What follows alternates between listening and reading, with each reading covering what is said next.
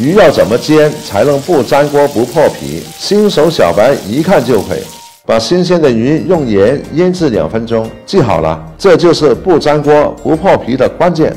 锅里下油，一定要让锅沾满油。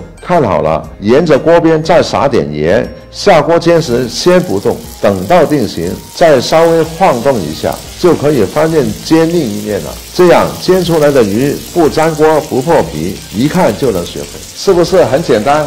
你也快去试试吧。